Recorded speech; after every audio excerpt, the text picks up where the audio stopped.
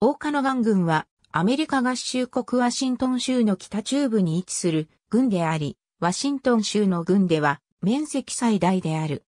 2010年国勢調査での人口は4万1120人である。郡庁所在地はオーカノガンであり、郡内で人口最大の都市はオマックである。郡設立時の郡庁所在地はルビーだったが、100年以上前からゴーストタウンになっている。郡名は、オーカノガン語の地名、ユークナキンから取られた。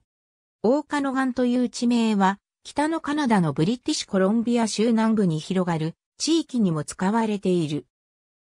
オーカノガン郡は1888年2月22日にスティーブンス郡から分離して設立された。アメリカ合衆国国勢調査局によれば、軍域全面積は5315平方マイルであり、このうち陸地は5268平方マイル、水域は47平方マイルで、水域率は0.89%である。